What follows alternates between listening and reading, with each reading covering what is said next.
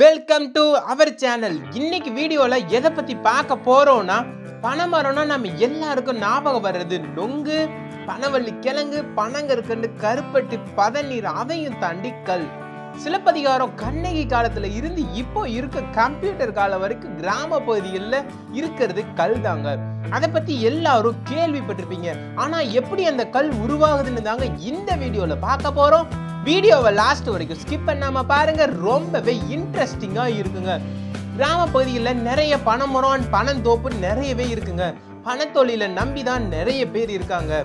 இந்த கல் எப்படி உருவாகுதுன்னா பனைமர பாலை குருத்தை கட் பண்ணி அதோட ஒரு பானையை கைத்துல கட்டி வச்சிருவாங்க. அந்த பாலை கொடுத்த ப்ரெஸ் பண்ணி த்ரீ டேஸ் அப்படியே விட்டுறணுங்க. அதுக்கப்புறம் அதோட நுனியில சீவி பானையை கட்டிடுவாங்க. சொட்டு சொட்டா அந்த பானையில கல் பனை நீர் வடியுங்க.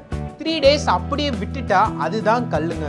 கட்டுற பானையை ஃபுல்லாக சுண்ணாம்பை தேய்ச்சிட்டு அதில் பதநீர் சொட்டு வடிஞ்சிச்சின்னா அதுதாங்க ரொம்ப இனிப்பாக எல்லாருக்கும் பிடிச்ச பதநீர். ஸோ பதநீருக்கும் கல்லுக்கு இருக்க ஒரே வித்தியாசம் அந்த சுண்ணாம்பு தாங்க. கல் புளிப்பு சுவையாக இருக்குன்னு சொல்கிறாங்க பொதுவாக ஆப்பம் செய்யறதுக்கு கல்லை சேர்த்து பண்ணுறாங்க இது வந்து சோடா மாவுக்கு பதிலாக சேர்க்கறதா சொல்கிறாங்க பொதுவாக இயற்கை கல்லில் பெரிய அளவில் போதையான ஒன்று இல்லைன்னும் சிறிதளவு மயக்க மாதிரியான உணர்வு வரும் வரும்னு தான் சொல்கிறாங்க கல்லில் கலப்பட பொருள் சேர்க்கறதுனால தான் விஷத்தன்மையுள்ள பொருளாக மாறிடுதுங்க. இதோட கல்லோட மருத்துவ பயன்கள் நிறையவே இருக்குங்க. குறிப்பா சொல்லணும்னா உடல் வலிமை வயிற்றுப்புண் உடல் புத்துணர்ச்சி ரொம்பவே நல்லா இருக்குங்க. புளிச்ச கல் தான் மயக்க வர உணவை ஏற்படுத்தணும். நம்மளோட அண்டை மாநிலமான ஆந்திராவில் மரங்களுக்கு வரி கட்டி கல் இருக்க அனுமதிக்கு அனுமதி தர்றாங்க. கர்நாடகாவில் கல் இருக்க அனுமதி இல்லை.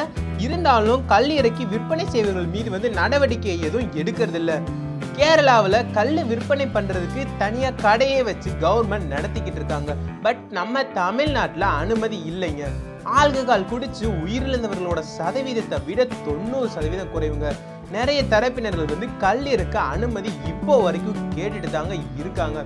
இந்த மாதிரியான இன்ட்ரெஸ்டிங்கான வீடியோக்கள் நீங்கள் தொடர்ந்து பார்க்கணுன்னா மறக்காமல் நம்ம சேனலை சப்ஸ்கிரைப் பண்ணி வச்சுக்கோங்க. பக்கத்தில் இருக்க பெல் பட்டனை கிளிக் பண்ணி ஆள் கொடுத்து வச்சிட்டிங்கன்னா நம்ம சேனலில் போடக்கூடிய வீடியோக்கள் உங்களுக்கு தொடர்ச்சியாக வரும். இதை பற்றின உங்களோட கருத்துக்களை நம்ம கமெண்ட் செக்ஷனில் தெரிவிங்க.